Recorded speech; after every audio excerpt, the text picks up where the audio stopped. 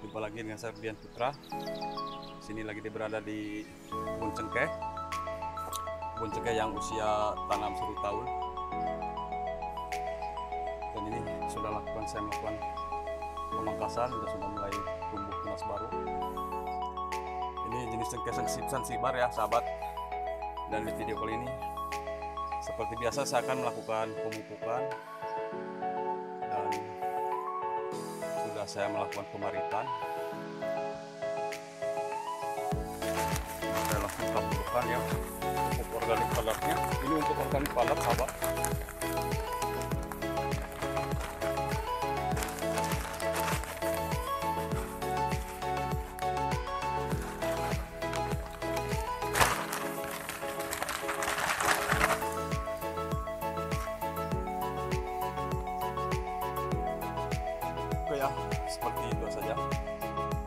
setelah ini saya akan lakukan langsung melakukan penutupan, penimbunan maksudnya.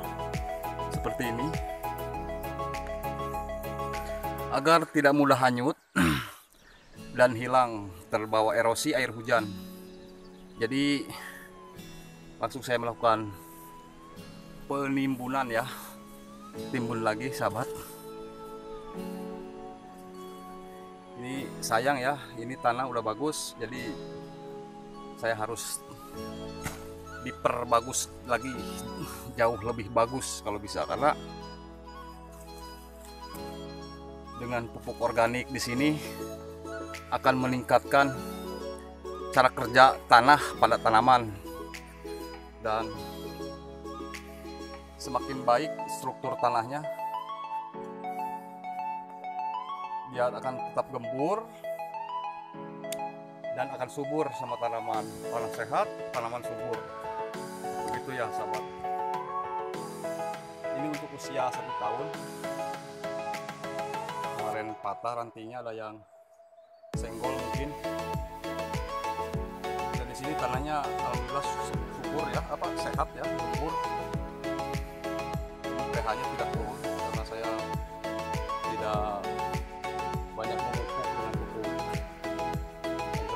seperti kimia ataupun yang kandungan nitrogennya banyak ya.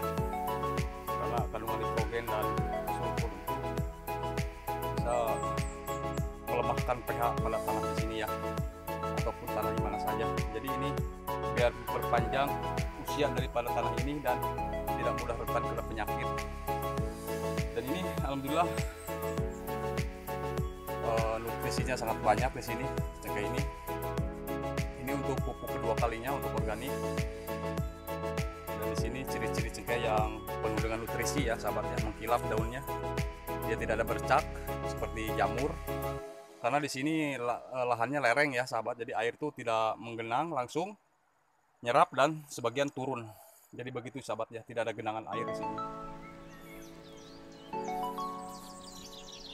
dan untuk yang ini kawannya usia 2 tahun pasca tanam ya. Tapi sudah saya melakukan pruning pemangkasan pucuk tujuannya supaya banyak cabang dan apa namanya biar memperkuat batang utama dan dahan-dahannya juga.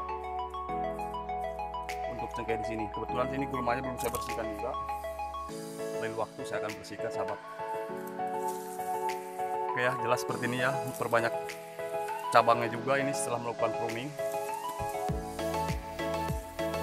Dan ini belum saya melakukan pemupukan,